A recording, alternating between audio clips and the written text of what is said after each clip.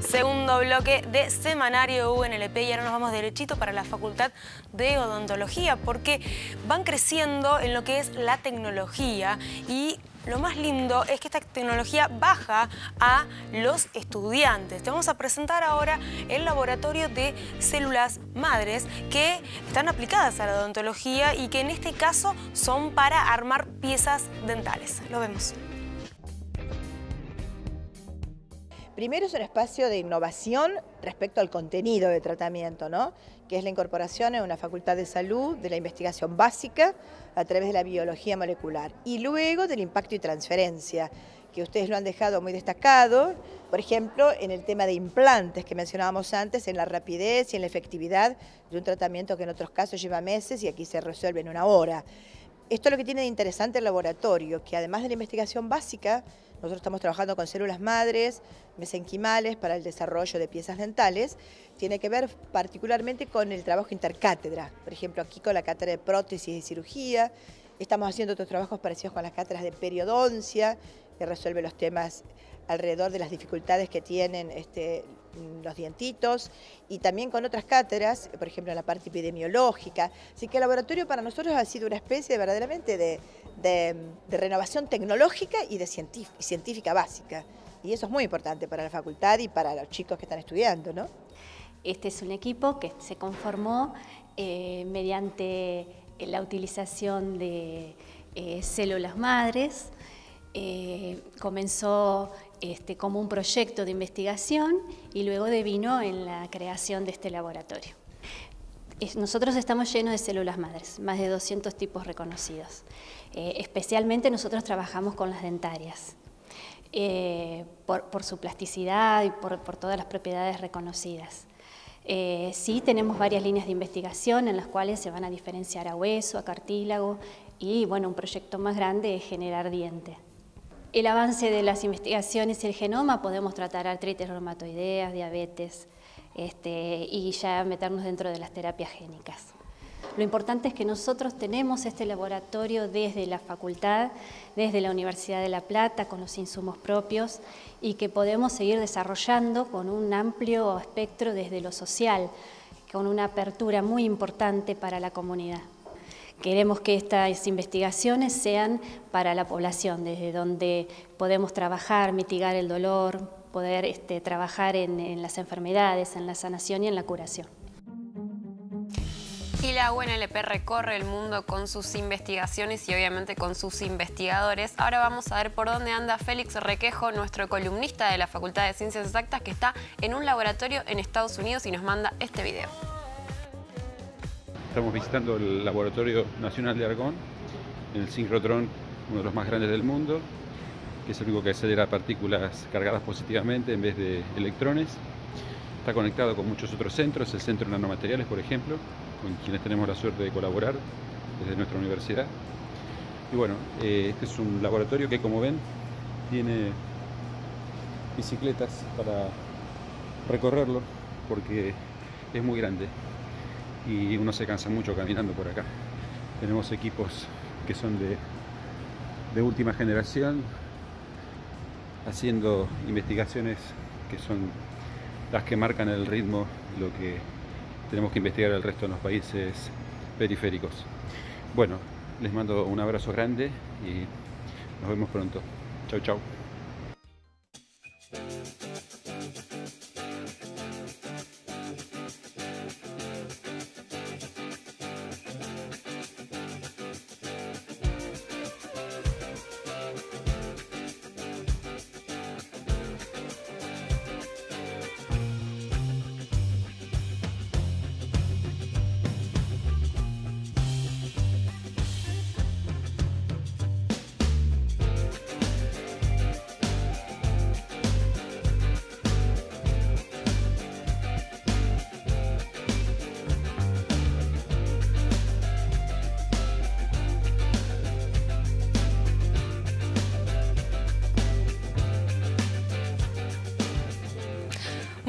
Recibir a nuestra columnista Mechi Jurek para hablar sobre los temas de género y también la relación que tienen con nuestra universidad. ¿Cómo estás, Mechi? Muy bien, Meli, ¿vos? Bien, y acá queremos contarle a la gente que nuestra universidad también trabaja en cárceles y en este tema cárceles y género. ¿Qué tenés para contarnos hoy?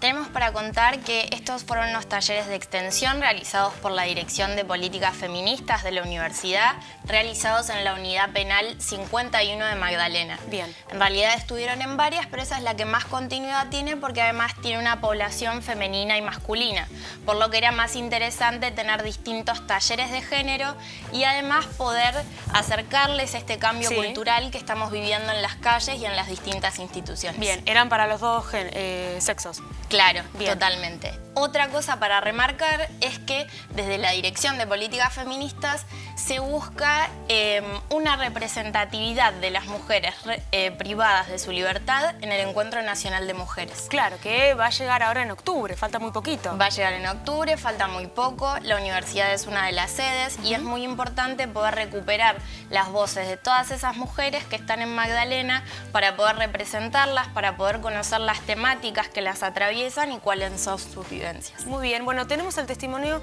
de Diana Broggi, que está a cargo de la Dirección de Políticas Feministas, que nos dio esta notita que la compartimos con ustedes.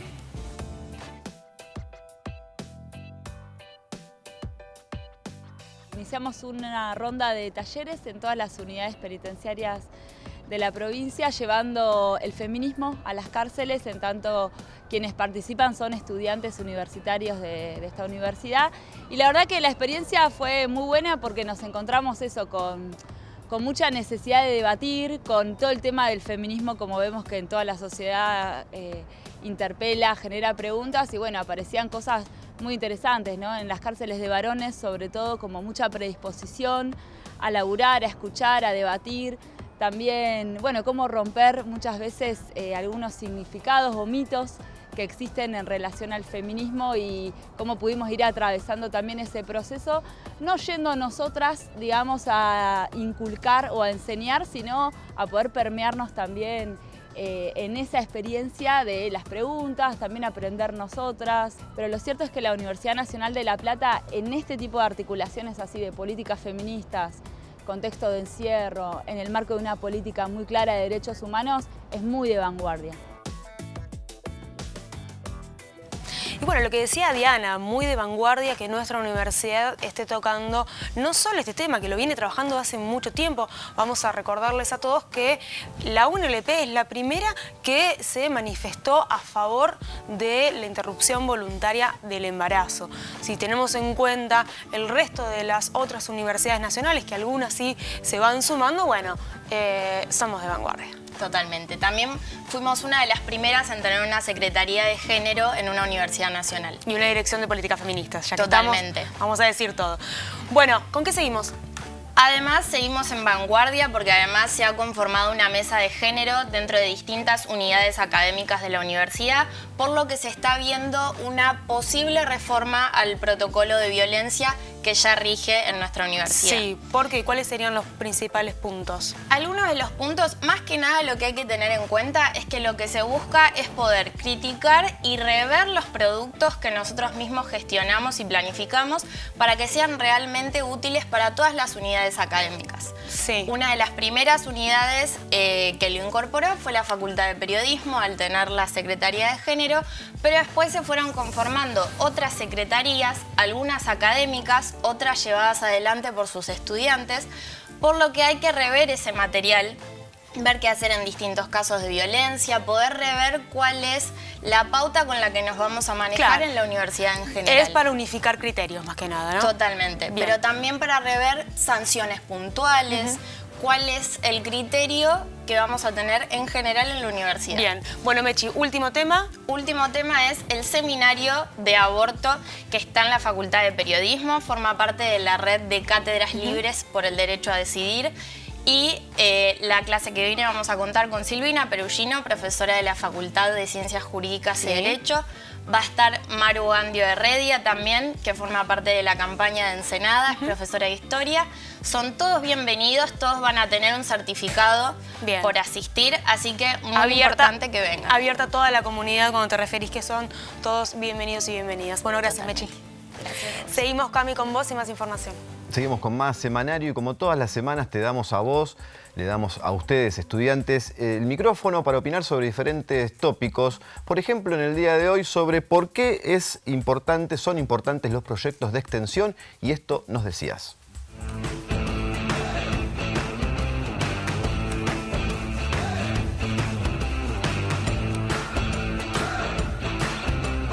La facultad tiene distintos proyectos de extensión, aparte de la currícula, que tienen como idea eh, que los estudiantes eh, intervengan en la sociedad desde su rol como futuros médicos veterinarios y estos proyectos de extensión incluyen clínicas, atención de clínica en diferentes barrios de la ciudad de La Plata. Hay un proyecto de extensión que habla sobre los tambos y la calidad de leche. Es una de las patas fundamentales de la universidad que también entiendo que es re importante. Hoy en día nosotros capaz, yo soy, eh, tengo compañeros que trabajan en cooperativas textiles eh, de, de, acá de La Plata, donde hacen proyectos de extensión y nada, eh, está bastante bueno, digamos, para convocar a muchos estudiantes a, a, poder volcar sus conocimientos en lo que es la extensión universitaria, que es re importante hoy día. Actualmente la facultad está teniendo mucho trabajo en coparticipación con la Facultad de Veterinaria de Uruguay, en el cual está haciendo un programa de intercambio, entre, tanto como docentes como alumnos en el cual se trata siempre de profundizar el tema de extensión y cómo va eso actuando en cada una de las regiones. Yo soy parte de LOREI, que es un programa continuo de la, de la Facultad de Derecho, del área de extensión, el cual eh, forma alumnos y graduados. El objetivo es justamente fomentar esto y fomentar el emprendedurismo y, por ejemplo, este año abordamos cuestiones como las de la todo lo que es el nuevo, la reforma de la OMC y demás cuestiones de, gran trascendencia a nivel mundial. En esta facultad la Secretaría de Extensión ofrece una amplia variedad de, proyectos o de mismo también eh, clínicas jurídicas, eh, especialmente en el subsuelo de la facultad hay una oficina que es el Centro de Atención a las Víctimas de, Violencia de Género. Para todas aquellas personas que sufren violencia se pueden acercar eh, que se le ofrece acompañamiento gratuito.